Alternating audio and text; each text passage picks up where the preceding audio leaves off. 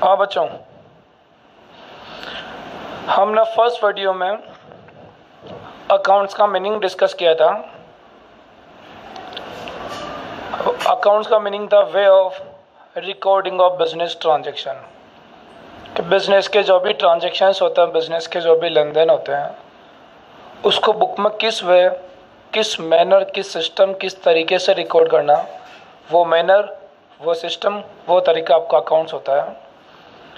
जिसमें सर ने आपको समझाया था प्राइमरी लेवल पर हम लोग जर्नल और सब्सिडरी बुक बनाते हैं। क्लासिफिकेशन करने के लिए लेज़र समराइज करने के लिए ट्रायल बैलेंस और रिज़ल्ट के लिए फाइनल अकाउंट बनाते हैं। अब वीडियो सेकंड में मैं आपको अकाउंट्स का डेफिनेशन पढ़ाऊँगा। बच्चों, मैंने व्हाट्सएप ग्रुप में आपको जो पीडीएफ भेजा, उसमें मैंने सारा थ्योरी नोट किया हुआ है। तो आप सबसे पहले तो पीडीएफ का थ्योरी आपके नोटबुक में नोट कर लेना उसके बाद ये वीडियो देखिए ताकि आपको परफेक्टली समझ आएगा। जो पीडीएफ में नोट्स गिवन उसको आप नोटबुक में नोट कर लेना और उसके बाद आप लोग ये समझेंगे तो आपको वीडियो परफेक्टली समझ में आएगा। जो अकाउंट्स का डेफिनेशन आपके पास लिखा हुआ है पीडीएफ में वो है accounting is the process of identification जिसने नोट नहीं किया, वो नोट कर सकता है। Accounting is the process of identification accounts का डिफाइन लिखवा रहा हूँ मैं आपको। Accounting is the process of identification comma measurement comma recording comma classification comma summarizing. Comma analysis on result. Analysis on result. And information communicate to the users. And information communicate to the users जिन जिन user को information की requirement उनको हम communicate करेंगे। जो definition आपने note किया accounting is the process of identification comma measurement comma recording comma classification comma summarising comma analysing and information communicate to the users अब मैं आपको इस डेफिनेशन को समझाऊँगा। ये फ़र्स्ट पॉइंट लिखा आपने आइडेंटिफिकेशन ये आइडेंटिफिकेशन एग्जैक्टली आइडेंटिफिकेशन होता क्या है? आपको ये आइडेंटिफाई करना है बिज़नेस में जितने भी सारे ट्रांजेक्शन लेन देन हो रहे हैं, उसमें मोनेट्री और नॉन मोनेट्री कौन से हैं? बिज़नेस की जितने भी सारी एक्टिविटीज़ हैं, उसमें आपको आइडेंटिफाई करना कौन सी मोनेट्री है और कौन सी नॉन मोनेट्री बिज़नेस की सारी एक्टिविटीज़ को, सारे लेन देन को आइडेंटिफाई करें मोनेट्री और नॉन मोनेट्री यानी इकोनॉमिक कौन सा है और नॉन इकोनॉमिक कौन सा है। जिसका मनी में करेंसी में मेज़रमेंट हो सकता है, वो मॉनेटरी होगा, वो इकोनॉमिक होगा। और जिसका करेंसी से मेज़रमेंट नहीं होता है, वो नॉन मॉनेटरी होगा नॉन इकोनॉमिक होगा।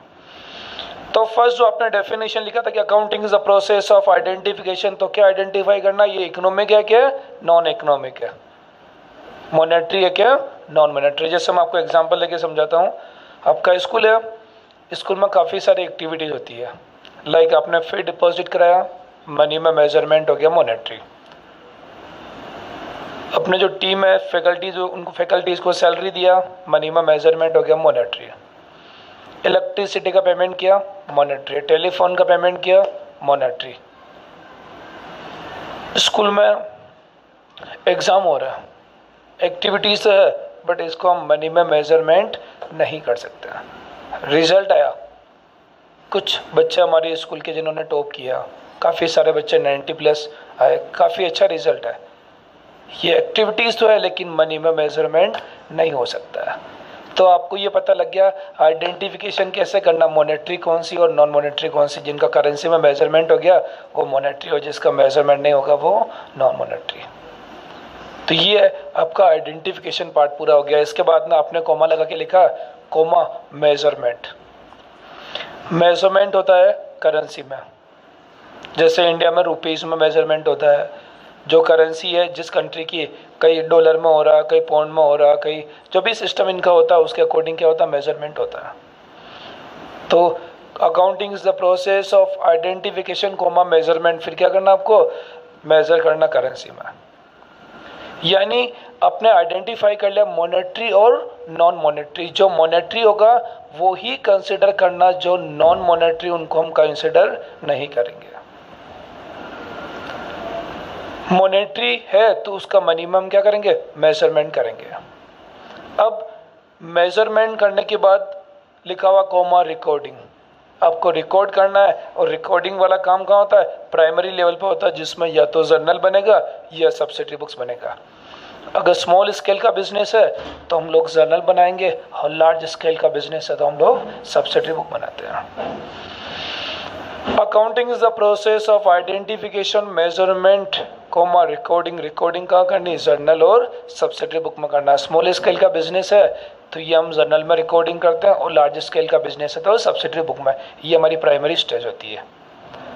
नाउ रिकॉर्डिंग के बाद आ रहा कॉमा क्लासिफिकेशन क्लासिफिकेशन आपने पढ़ा था क्लासिफिकेशन का होता है? लेजर में होता है। क्लासिफिकेशन का होगा? लेजर में।